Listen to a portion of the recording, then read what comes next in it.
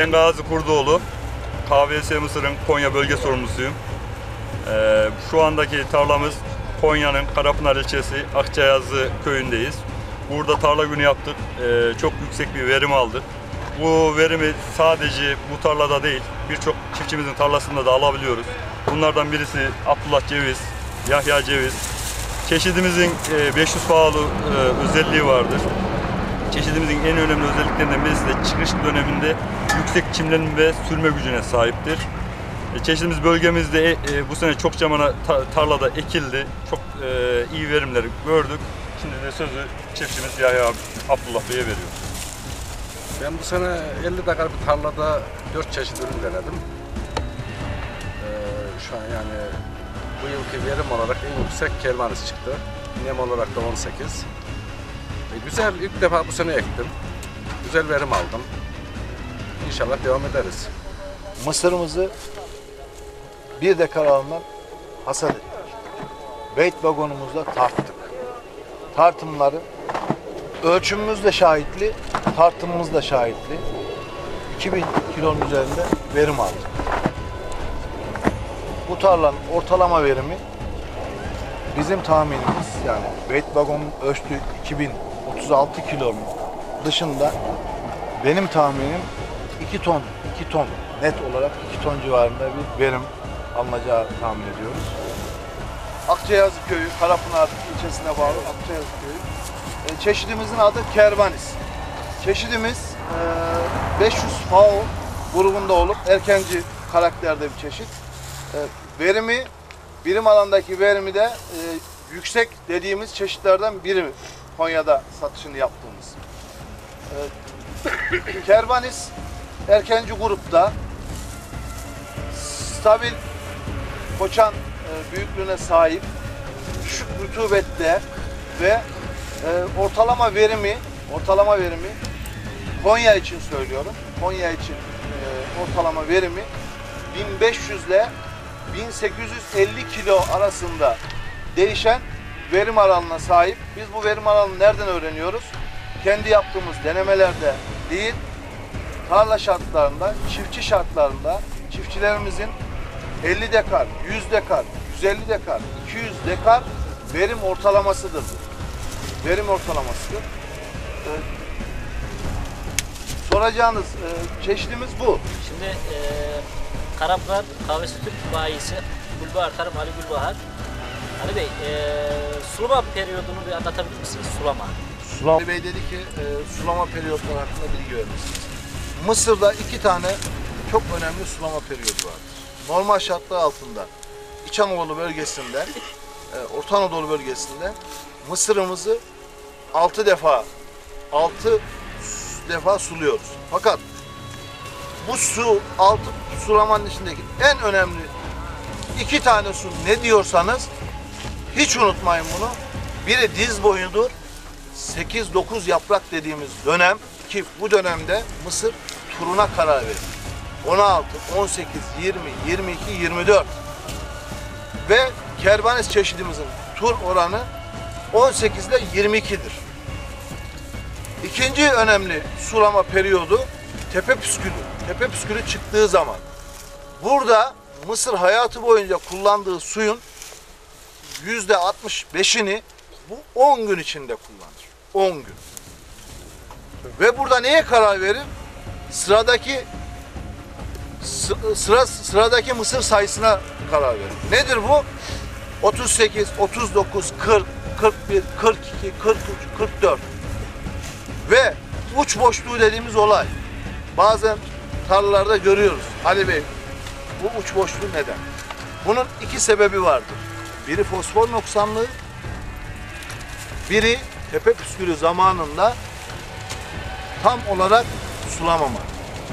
Eğer uç boşluğu yaptıysa o zaman geriye dönün, geriye dönün tepe püskülünde suyu ne zaman ve ne kadar verdiğinizi sorgulayın. Bu iki periyot çok önemlidir. Ve ve en, en önemlisi e, mısır ekiminde dikkat edeceğimiz şey sulamayla ilgili, hani nem rutubetle ilgili olarak söylüyorum. Mısırımızı kuruya ekip üstünü sulamayacağız. Mısırımızı tavlı toprağa, nemli toprağa ekeceğiz. Biz bununla neyi garanti ediyoruz? Tam ve sağlıklı bir çıkışı garanti ediyoruz. Eğer mısırımızı tavlı toprağa, rutubetli toprağa ekip de ekip de çıkışı 4 ila 8 gün arasında yapamazsak eğer bu periyot 20 güne kadar ve değişik yerlerde tarlanın değişik yerlerinde çıkarak tamamladıysa bu bizim için iyi bir çıkış sayılmıyor. Ve bu çıkış hasadı da hasadı da etkileyen bir çıkış olur sizin için. Düşük verim alma ihtimaliniz vardır.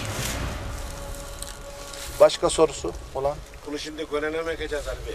Evet. Yani ıslak olarak. Evet, kesinlikle mısırımızı gönene ekiyoruz. Kuru tarlaya ekip üzerine sulamayı tavsiye etmiyoruz. Yani yağmurlama yapmaya gerek var mı yok? Yağmurlama işte çıkış suyunu ben işte 6 defa suladım, 7 defa suladım der bazı çiftçiler. Birinde çıkış suyudur. Onu da say. Halbuki onu sulamaya saymayacaksınız. Çıkış suyudur ama biz bunu tavsiye etmiyoruz. Boş tarlanızı sulayacaksınız. 5 gün sonra tavana geldiği zaman ekeceksiniz. Bu en iyi çıkıştır. Ve verimi de garanti altına alır, çıkışı da garanti alır. Topraklarımız zaten bahardan kıştan çıktığında önemli zaten. Gerek var mı yani yağmur? Eğer gönenliyse sıkıntı yok. Mesela çıktıktan sonra yağmurlama yapıyoruz. Hayır. Ee, eğer gönen e, toprağımızda gönen var, sıkıntı yoksa rutubet açısından yani çimlenme rutubeti açısından sıkıntı yoksa bunu sulamadan ekebilirsin. Bizim bizim dediğimiz şu kuru tarlaya, kuru tarlaya ekip kuru tarlaya ekip üzerine sulamayı tavsiye ediyoruz. Neden? Kaymak tabakası bağlıyor. Kaymak tabakası bağlıyor. Ve çıkış zorlanıyor. Eğer o şekilde bunu siz görüyorsunuz. Ektiğimiz zaman yağmur yağdığı zaman da kaymak tabakası bağlıyor biliyorsunuz. Özellikle bu Özellikle Karapınar topraklarında buna dikkat etmeniz gerekiyor. Bazı yıllar oluyor ki e, nemimiz olmuyor. Ba kıştan da çıksak da tavuğunu kaçırabiliyoruz yani. O yüzden dolayı gönem verip ekmenin her zaman başarılı olduğunu buradaki yıllar Ben Önceden gören yapılıyor. sıra sıra Süreçlerde. üzeriyle ilgili bir sorunuz vardı. Evet, ekim sıklığıyla ilgili. Şimdi e, Mısır'da ekim sıklığı benim e, kervanis için veya kahvesen ürünler için değil, tavsiyem değil. Genel itibariyle konuşuyorum ve özel itibariyle de söylüyorum. Mı- mısır çeşitlerinden ekiyorsak 17 santimin altına düşmeyelim. Bakın sık ekilen mısır 17 santimin altındaki mısırlarda yatma riskimiz var. Burası Karapınar biliyorsunuz sert hakim rüzgarlar var burada. Fırtınalısı bol bir alandayız yani. Bu Karapınar bölgesi böyle bir bölge. Sık ekerek mısırın gövdesini inceltiyoruz. Ve mısırı yatmaya karşı hassasiyet, hassasiyet kazandırıyoruz mısırlarda. İkincisi tabi birim alandaki birim alandaki mısırı arttır, arttırdığımız zaman verdiğimiz bitki besin elementi de ona göre azalıyor. Üçüncüsü sulama periyodumuz. Yani birim alanda 7800 8000 bitki ile 9500 10000 arasındaki bitkinin su tüketimi de farklı oluyor. Siz sizin düşünmediğiniz veya aklınıza gelmeyen konu burası. Bitki sıklığını arttırıyorsunuz, aynı gübreyi atıyorsunuz. Yani 7000 8000 bitkiye attığınız gübreyi 10000 bitkiye de atıyorsunuz. Bir. Periyot 8-10 günde suluyorsunuz 7000 8000 bitkiyi. 10000 bitkiyi de 7-8 günde suluyorsunuz. Yani bunlar birbiriyle ters orantılı. Mesela kavasan 65 Pa- 65. pardon ters orantılı değil. 13 Doğru 14 orantı. santime ekildi. Güzel de birim oldu. Kaç santime? 13 santim. 13 santime. Biz 13 santime ekildiği zaman güzel verim olmayacak demiyoruz. Kök yapısı da güzel. Öyle ince dal şeklinde değildi. 65 Bakın için konuşuyorum. bu 65 için kahvesi 65-65 için söylüyorum veya kerbanis için söylüyorum. Bu kanun değil benim söylediğim. Fakat siz tarım sektöründe yüzde bir risk yüzde yüz zarar eder. Yani siz bu mısırı Haziran birinde veya Temmuz'un birinde ekebilir misiniz? Ekersiniz çıkar. Ama don vardır. yüzde yüz don riski altındasınız. Ee, bizim dediğimiz şu, sizi yatmaya karşı, hastalıklara karşı garanti altına alıyoruz. 17 santim, 18 santim mısırı yatmaya ve hastalıkların dirence karşı, direncine karşı garanti altına almaktır. Biz size bu garantiyi veriyoruz. Biz olmaz demiyoruz. 15 santime, bizim 15 santime ekilip de 1800-1900 kilo dekardan verim aldığımız tarlalarımız var. Burada sıkıntı yok. Fakat risk ne gerek var? Biz diyoruz ki 17 santim. 17 santim ektiğimiz tarlalarımızda aldığımız verimler de 1800 kiloyu buluyoruz. E, Yani o zaman ne gerek var? Sık ekipte riske girmeye. Taban gübresini nasıl önerirsiniz? Bir ay önce sa- saç sakatlık Şimdi- olur mu? Evet, bu konuda e, değişik fikirler var. Fakat benim size tavsiyem Ekim'le birlikte banda uygulamanız. Ekim'le birlikte banda uygulamanız. Biliyorsunuz mısır dekara 25-30 kilo arasında saf azot, 13 kilo fosfor, 10 kilo potasyum ister. Daha doğrusu kaldırır dekardan. dekardan. Siz bunu karşılamakla bu mısırı ekiyorsanız yükümlüsünüz bir yerde. Yani ne verirseniz onu alırsınız diyorsunuz. Bunu da eee, salma sulama yapacak olanlar, damlama yapacak olanlar ve yağmurlama yapacak, yağmurlama sulama sistemiyle sulama yapacak olanlar ve hatta pilot sulama sistemiyle yapacak olanlar da bu gübre değişiklik, çeşitlilik arz ettirir. Yani ben şimdi salma sulamaya, tabi taban gübresi için aynı. Taban gübresi için dapımızı atabiliriz. 3-15'imizi atabiliriz. Ama üst gübresinde damlamayla salma sulama yapacakların gübre kullanım, e, gübre e, şeyi farklı olacak. E, Uygulaması farklı olacak. Çeşidi farklı olacak. Yani tutup da e, salma sulama yapanların hepsini 21 e, nitrat kullanamaz. Veya damlama yapanların hepsi e, üre tamamını üreyle karşılayamaz.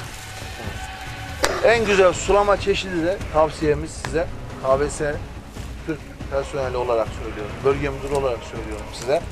Damlama sulama sistemidir. Şu anda yaygın olan ve e, efektif olan da- sulama sistemimiz damlama sulama. Yani vahşi sulama dediğimiz salma sulamadan e, olabildiğince kaçmanızı tavsiye ediyoruz. E, buraya gelerek bizim organizasyonumuza katıldığınız için, bizi desteklediğiniz için e, KVS Türk adına e, teşekkürlerimi sunuyorum size. İnşallah e, mısırımızı biçtik, bir dekar alandaki mısırımızı biçtik. Şimdi onun tartımını yapacağız ve e, göreceğiz bakalım ne çıkmış. KVS, Kervanis çeşitimiz. Sağ olun. Sağ olun. Vatandaşı bilgilendiririz. Bakacağız. Buyurun. İçerim bak. Anladın yani. Yürüyü çapayla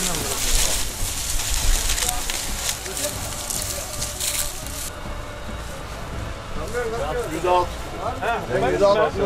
Bir, bir kişi daha Ama şimdi bir de ortalaması lazım. Bir de ben şey yapayım ortalayalım. Şimdi ikimiz çek varsan usta. Ben buradan dur. Ben kaç gözüküyorum? Sen 66. Manyalı sana hiç bakmamış ya. Sen 65.